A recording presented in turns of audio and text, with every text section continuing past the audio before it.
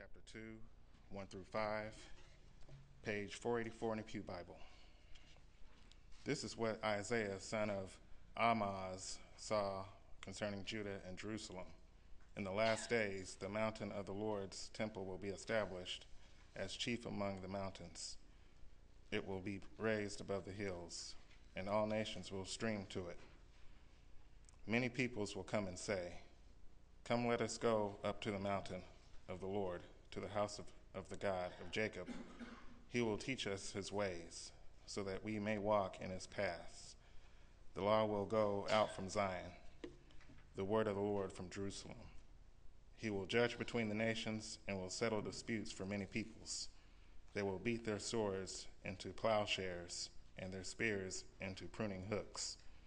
Nations will nation will not take up sword against nation, nor will they train for war any more. Come, O house of Jacob, let us walk in the light of the Lord. The New Testament lesson comes from Philippians chapter 4, verses 4 through 9. In the Pew Bible, page 832. As we practice carefree prayer and Christ like thinking, we are promised the peace of God and the God of peace. That was in Philippians chapter 4, 4 through 9, page 832 in the Pew Bible. Rejoice in the Lord always. I will say it again, rejoice. Let your gentleness be evident to all. The Lord is near. Do not be anxious about anything, but in everything, by prayer and petition, with thanksgiving, pre- present your request to God. And the peace of God, which transcends all understanding, will guard your hearts and your minds in Christ Jesus. Finally, brothers, whatever is true, whatever is noble, whatever is right, whatever is pure, whatever is lovely, whatever is admirable, if anything is excellent or praiseworthy, think about such things. Whatever you have learned or received or heard, of, heard from me or seen in me, put it into practice, and the God of peace will be with you. Please stand if you're able for the reading of the gospel.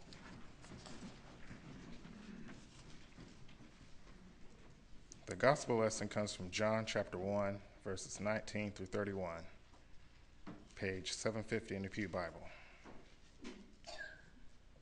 John confesses he is neither Christ nor the prophet prophesied by Moses. When Jesus comes to him, John identifies Jesus as the Lamb of God, the Messiah. John chapter 1, 19 through 31, page 750 in the Pew Bible. Now, this was John's testimony when the Jews of Jerusalem sent priests and Levites to ask him who he was. He did not fail to confess, but confessed freely, I am not the Christ. They asked him, Then who are you? Are you Elijah? He said, I am not. Are you the prophet? He said, No. He, he answered, No. Finally, they said, Who are you? Give us an answer to take back to those who sent us. What do you say about yourself? John replied in the words of Isaiah the prophet I am the voice of one calling in the desert. Make straight way, make straight the way for the Lord. Now some Pharisees who, who, had, who had been sent questioned him.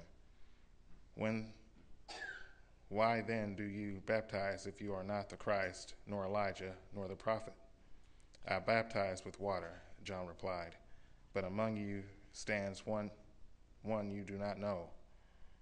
He is he is the one who comes after me, the thongs of whose sandals I am not worthy to untie. This all happened at Bethany on the other side of the Jordan, where John was baptizing. The next day, John saw Jesus coming toward him and, and said, Look, the Lamb of God, who takes away the sin of the world. This is the one I meant when I said, A man who comes after me has surpassed me because he was before me.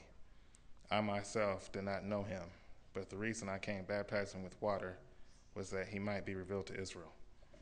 You may be seated.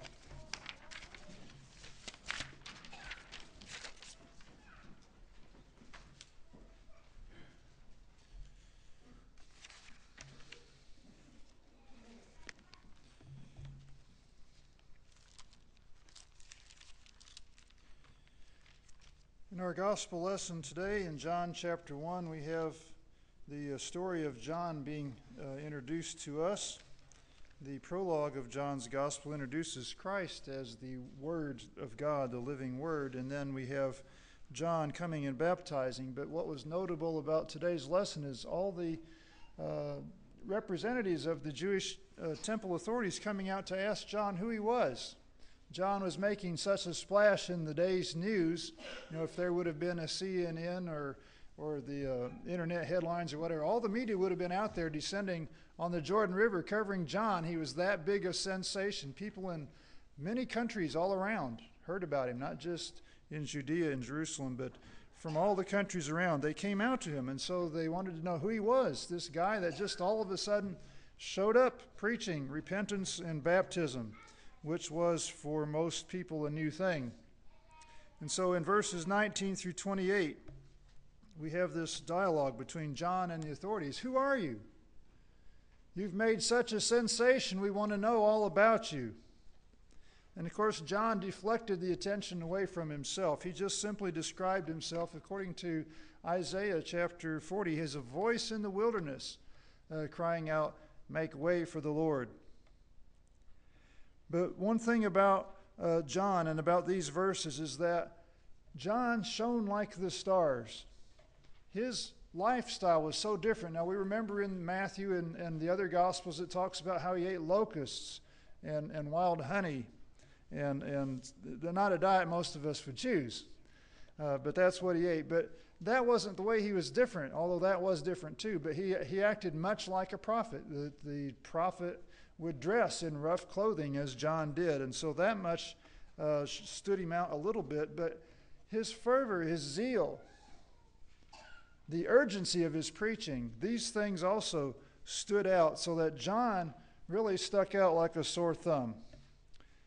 And that's our calling too, not to necessarily stick out in an odd way, but to stand out like stars. Paul tells us to do all things without complaining and arguing, so that you may shine like the stars in the universe as you hold out the word of life in Philippians 2.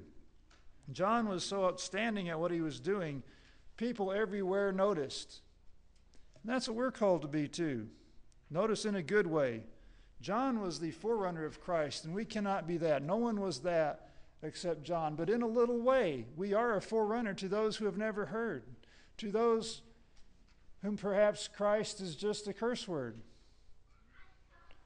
They may know nothing about who Jesus Christ is, and in that way, we too can be a forerunner of Jesus Christ in their life. We are called to be different. In 1 Peter, you are a chosen people, uh, a holy generation, a royal priesthood called to serve the Lord, to bring forth the praises of Him who called you out of darkness into a wonderful light. And through so much of the Bible, not just John's first chapter, but so much of the Bible, we're, we're the light because Jesus gives us light. 1 Peter in chapter 3 says, In your hearts set apart Christ as Lord. Always be prepared to give an answer to everyone who asks you to give the reason for the hope that you have, but do this with gentleness and respect keeping a clear conscience, so that those who speak maliciously against your good behavior in Christ may be ashamed of their slander. People will talk against us, but if we don't give them ammo, we don't have to say anything in return. If we live as Christ wants us to live, their words will come back upon them empty and with no effect. Because people will know what we stand for as we are outstanding in our witness just as John was in his. As we are outstanding in our lifestyle, just as John was also. Our difference, like John's, should be a difference that points people to Christ instead of away from Christ. Ephesians chapter 4. And Paul taught this to all the churches that he visited, that he wrote. But in Ephesians, uh, again and again, he hammers this point home that our lifestyle uh, should should be one that goes along with our words, the words that we preach. In Ephesians 4, verse 1, as a prisoner for the Lord, then I urge you to live a life worthy of the calling you have received. And then later on, I tell you this and insist on it that you must no longer live as the Gentiles do in the futility of their thinking. And yet again in chapter 5, verse 8 For you were once darkness, but now you are light in the Lord. Live as children of light. Be different. Make a difference in the way that you live so that the words that you speak can have full effect. And in the Old Testament, even in Daniel, in the last chapter, after all the great visions he had seen, even, even seeing the Son of Man at the end of time, here is what the angel uh, told Daniel Those who are wise will shine like the brightness of the heavens, and those who lead many to righteousness like stars forever and ever. We are called to light, as Jesus himself said in the Sermon on the Mount. You are the light of the world. You are the salt of the earth, in Matthew chapter 5. Therefore, let your good deeds uh, shine before men, that they may see your good deeds and praise your Father in heaven. And so, our goodness, our lives should be outstanding, as John's was, to point people to Jesus Christ. As we continue on in John chapter 1, the verses 29 and 30. The next day, John saw Jesus coming toward him and said, Look, the Lamb of God who takes away the sin of the world. This is the one I meant when I said, A man who comes after me has surpassed me because he was before me. Proclaim Jesus to the world, not just with our lives, but also with our words. It's often been said that uh, St. Francis was once quoted as saying, Proclaim the gospel. If necessary, use words. It's a nice story. Nobody uh, really knows that St. Francis ever said that. But the, the point is well taken that our lives, again, and our words should go together. But we are called to use words. We're not called to just be silent witnesses. People are saved by what? The Word of God. What is it that creates faith? Faith comes by hearing, and hearing by the word of Christ. We are called to live our lives as a witness, but we are also called to speak God's word as a witness as well. God's word is the power to save. Paul in Romans says, I'm not ashamed of the gospel of Christ, for it is the power of God unto salvation for all who believe. That's where the power lies, is in our words, which should reflect or which should proclaim God's word. The last thing Jesus said before he went to heaven is recorded in Acts chapter 1. And really, the Great Commission isn't absolutely the last thing he said, but this is You will receive power when the Holy Spirit comes on you, and you will be my witnesses in Jerusalem and in all Judea and Samaria and to the ends of the earth. Witnesses do what? They tell of what they've seen, of what they've heard, of what they know. There is no other name given under heaven by which salvation may be found, Peter later proclaimed in Acts chapter 4. And in, our, in John chapter 1, there was a man who was sent from God. His name was John. He came as a witness to testify concerning that light, so that through him all people might believe. He himself was not the light, he came only as a witness to the light. And again, John is our supreme example of witnessing, not only by our lives, but also by our words. How important is that? In Matthew chapter 10, which, uh, if you recognize that chapter, it's the chapter when Jesus gave instructions to his disciples to, to go out and preach, how to win disciples. And in chapter 10, verse 32 and 33, Jesus says, Whoever acknowledges me before men, I will also acknowledge him before my Father in heaven. But whoever disowns me before men, I will disown him before my Father in heaven. Confessing the name of Jesus Christ is part of our faith, part of what we teach people to do, to stand up for what we say we believe. And of course, the Great Commission itself go make disciples baptizing in the name of the Father, Son, and Holy Spirit, and teaching them to observe everything I've commanded you. So, so much of our proclamation, so much of our life consists of our words proclaim Jesus to all the world, as John did. And in verse 31, John 1, verse 31, John said, I myself did not know him, but the reason I came baptizing with water was that he might be revealed to Israel. John tells why he came. He tells of his purpose of life, and that was to show who the Messiah was, to show the Messiah to Israel. Whatever we do, do it all to proclaim Jesus. Do all to the glory of God. Whatever we do and say should contribute to our gospel witness. Everything that we train ourselves to be should reflect the fact that we are God's people, that we are Christian, that we are little Christs in our world. 1 John 4:17 makes the astounding statement, you are like Christ in this world.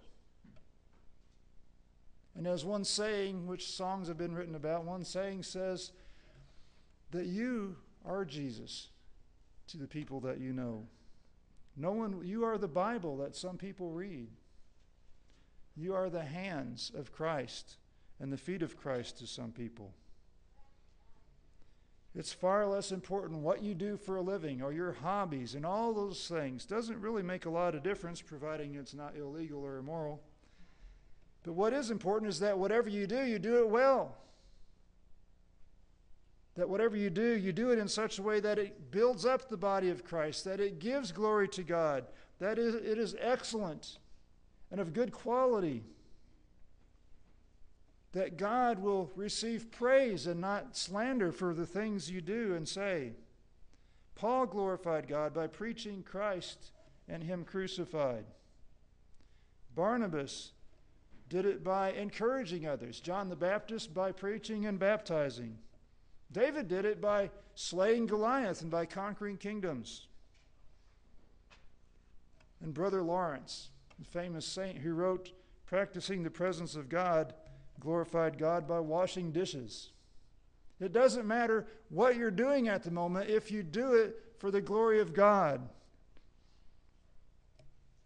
In 1 Corinthians chapter 10, verse 31. Paul brings that point home too. He says, Whether you eat or drink or whatever you do, do it all for the glory of God. Don't cause anyone to stumble. Follow my example as I follow the example of Christ. And in Colossians chapter 3, whatever you do, do it all for the glory of God. In 1 Peter chapter 4 verse 10, Peter says, "Each one should use whatever gift he has received to serve others, faithfully administering God's grace in its various forms." God wants to bless all of us and he does it through us primarily. The way we do things should be for God's glory. And so, what does all this have to do with Christmas time? Here it is, the fourth Sunday in Advent, two days before Christmas. And many people are getting tired of Christmas, even though the day itself hasn't quite yet gotten here. What does John the Baptist have to do with Christmas? What does all this about our witness have to do with Christmas? But what better time to talk about how to live, who to be, how to witness, than Christmas time.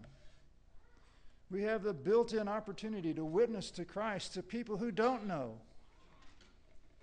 Some people say, oh, I get so tired of going to the stores because all you hear is Christmas music. But that's the one time, others say, that one time that you can go to any store and hear the gospel being played in music form. The story is being told. Do we ever listen beyond the words? Many of the hymns are concluding with a, a, verse that's actually a prayer. One of my favorite prayers, a prayer I pray practically every day, is actually the third verse from Away in a Manger. Be near me, Lord Jesus. I ask thee to stay close by me forever and love me, I pray. Bless all the dear children in your tender care and fit us for heaven to live with thee there. Christmas is a built in opportunity to witness of, of, who Christ is and what he does for us. What does he do for you?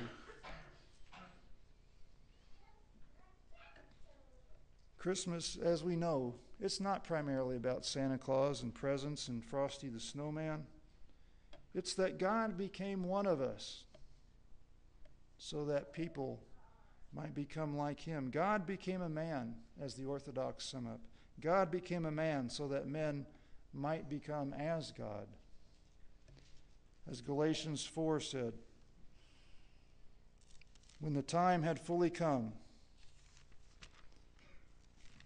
I want to, excuse me, when the time had fully come, God sent his Son, born of a woman, born under the law, to redeem those under the law, that we might receive the full rights as sons.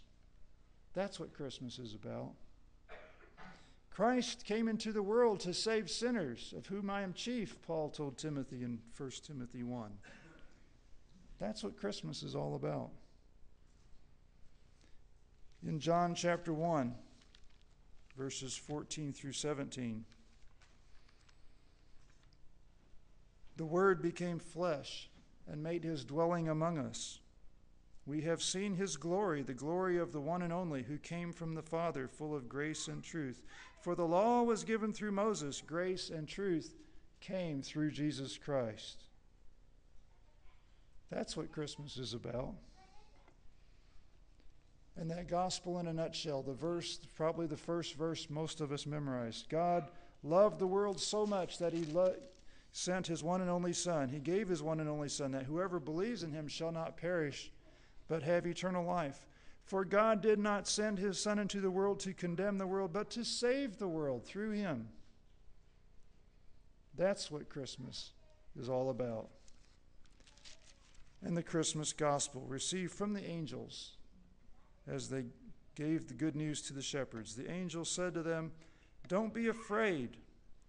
I bring you good news of great joy, which shall be to all people. For unto you in the town of David a Savior has been born. He is Christ the Lord. As Linus told Charlie Brown, that's what Christmas is all about. John the Baptist then shows us the way in many ways, but primarily at Christmas time, as at all times of the year. John teaches us to point others to Jesus because that's really what Christmas is all about. That's what life is all about. So shine like the stars in both word and deed, and do everything to God's glory. In Jesus' name, amen.